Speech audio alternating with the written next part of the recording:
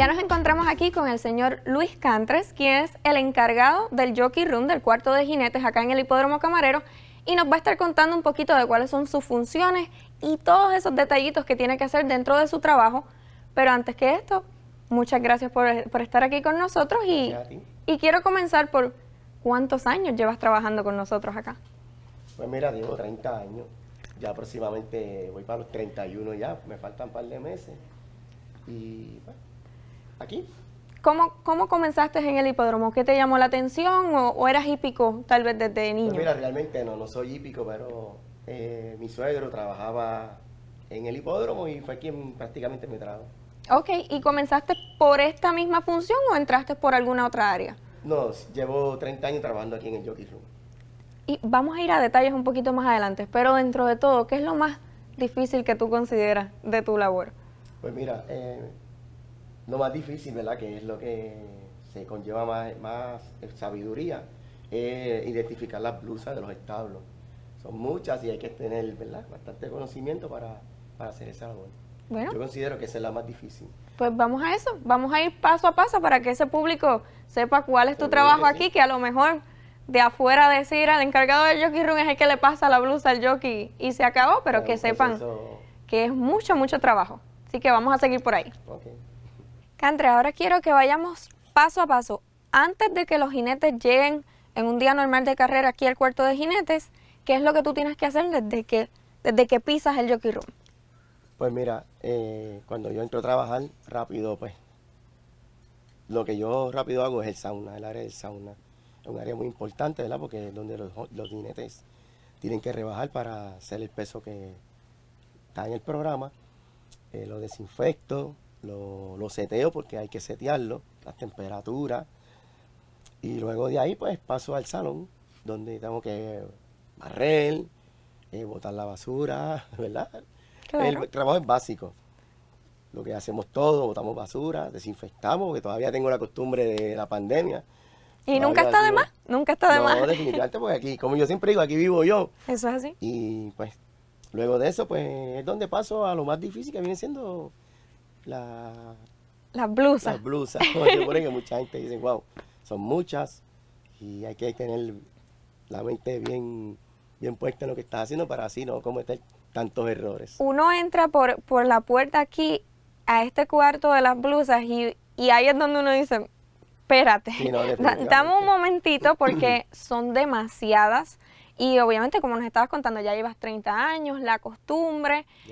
Pero, Cantre, hicimos un ejercicio ahí un poquito antes, ¿qué es esto? Y no te equivocas, no, no, no surge mucho. Así que cuéntame, llegas aquí por el programa entonces, empiezas a buscar cómo, cómo es el proceso. Por el programa, pues vas sacando carrera por carrera y luego la vas poniendo en el rack, que el rack también es por carrera.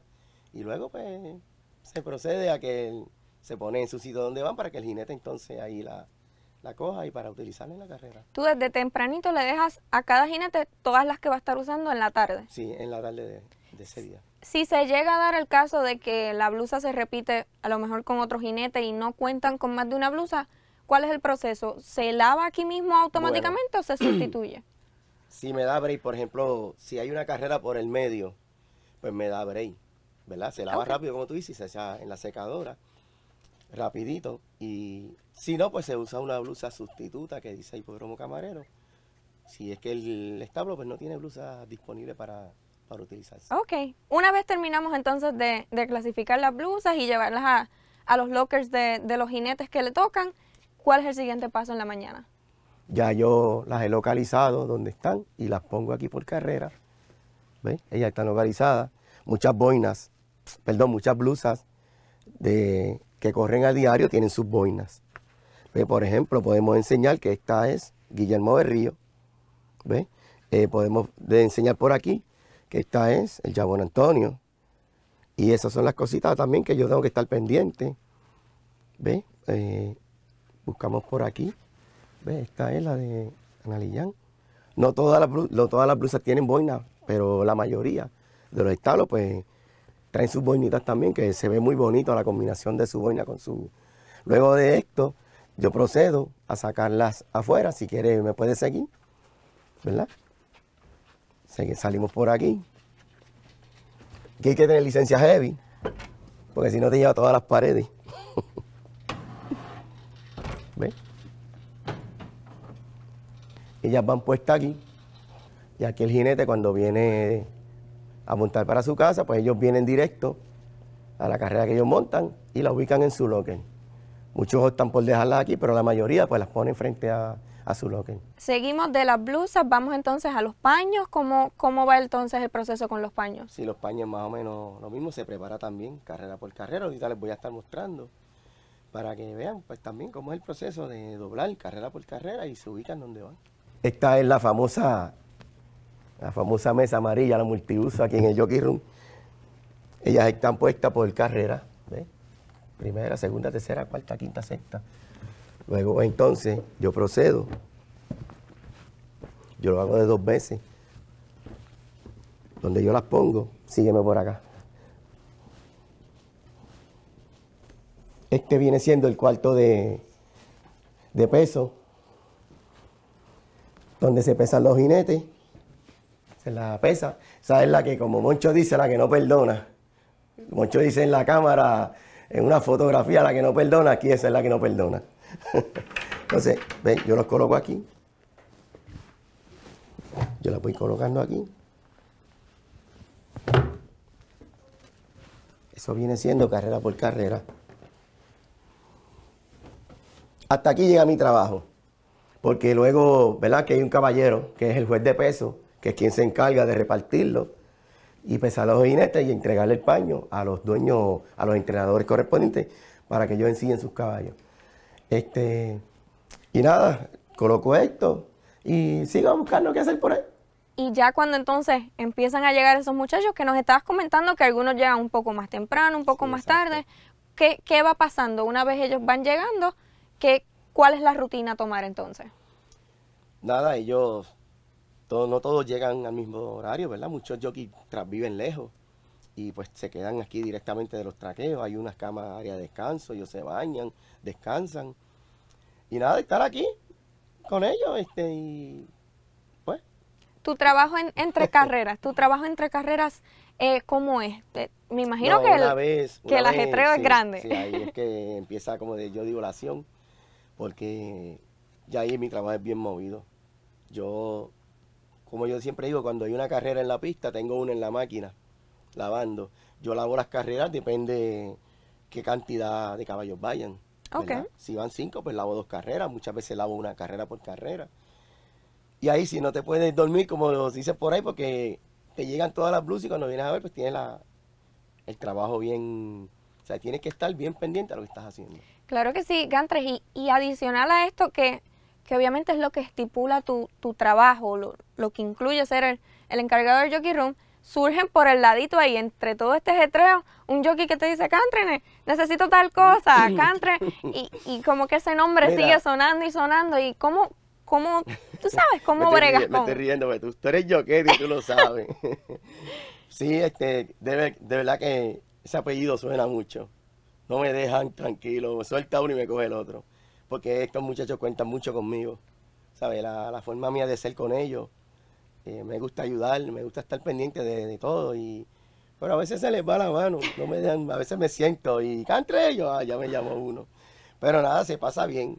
Este, como dije una vez mi trabajo, a mí me encanta mi trabajo, de verdad que me encanta mi trabajo y pues se pasa bien aquí con todos ellos. Quiero saber, llevas muchos años en algún momento que también tuvimos, tuvimos la oportunidad de estar en el Jockey Room, nos, nos comentaste de, yo vi a este nacer y hoy lo estoy atendiendo como, como jinete y se te ha repetido esta historia, así que quiero una anécdota, quiero, quiero saber ese, ese sentimiento que te da ser parte de la familia de ellos, porque... Definitivamente, mira, este, yo puedo decir que yo vi nacer muchos jockeys que ahora mismo son jockeys.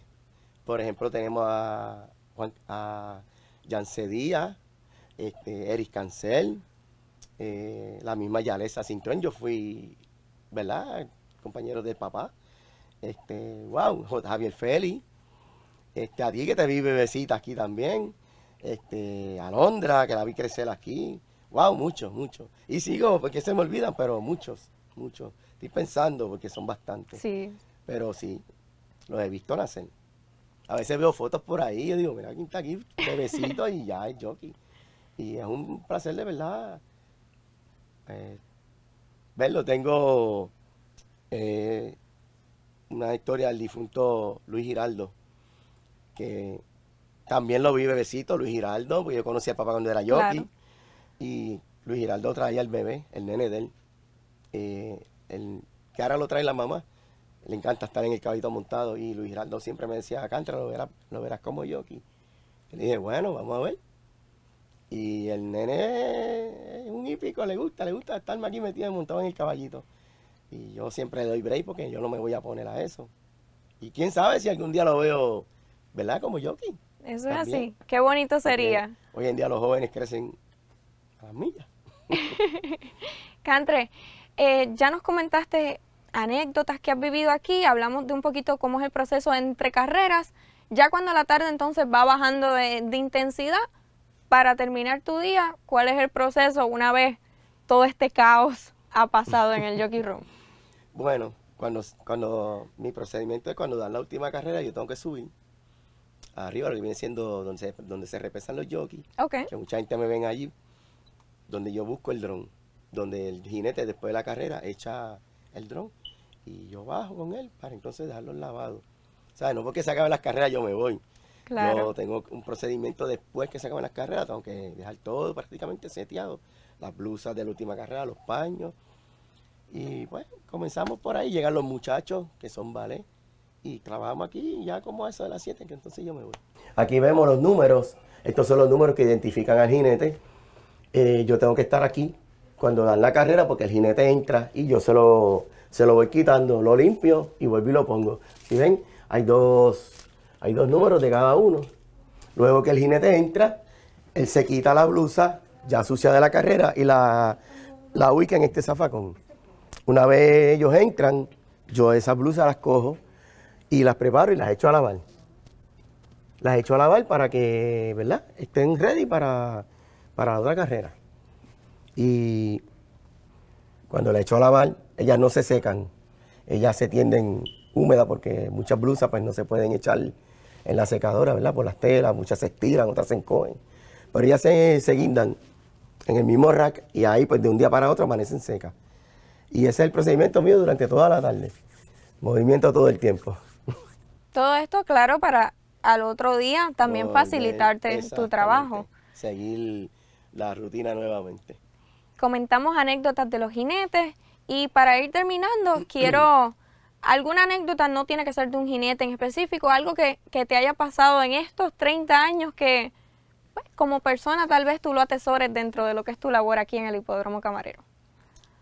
Pues mira, de verdad que no, no, no, no tengo idea, ¿verdad? Este, no, no sé, no sé. Algo bonito que te haya pasado, puede ser con un jinete, un compañero de trabajo, que, que te haga sentir bien en tu trabajo, en la labor que has estado haciendo por, bueno, estos pero 30 si así, Pues yo siempre he dicho que yo tengo muy buenos compañeros en todas las áreas, ¿sabes? No solamente en el área de mantenimiento. Todos, todos, todos. Yo siempre he dicho que todos son mis compañeros y la paso bien aquí, nunca he tenido un problema con nadie. Gracias a Dios he estado en paz con todo el mundo y Amén. Eso es así, muy bien.